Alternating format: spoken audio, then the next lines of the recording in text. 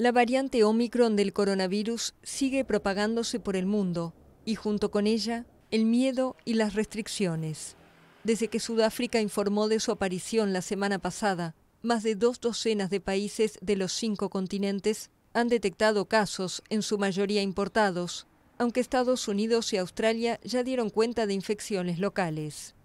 En Noruega se dispararon las alertas luego que más de la mitad de los 100 participantes en una fiesta en Oslo dieran positivo al coronavirus, pese a que todos estaban vacunados. Al menos 17 son casos sospechosos de la variante Omicron. En reacción, el gobierno noruego ya anunció una serie de restricciones sanitarias en Oslo y las zonas aledañas. Espero que no sea tan duro como el confinamiento del invierno pasado, que sea un poco más suave este invierno. Pese a los temores que despierta la nueva cepa, la Organización Mundial de la Salud señala que todavía hay muchas incógnitas sobre su peligrosidad y transmisibilidad. Y destacó el viernes que hasta ahora no tiene constancia de ningún deceso por la nueva variante.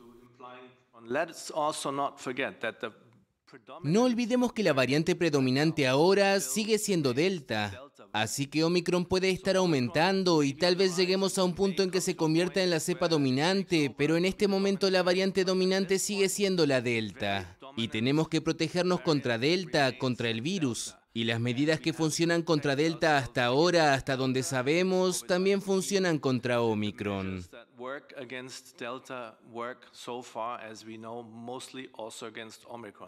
Según un estudio de científicos sudafricanos, el riesgo de volver a contraer COVID-19 es tres veces mayor con la variante Omicron que con las beta y delta.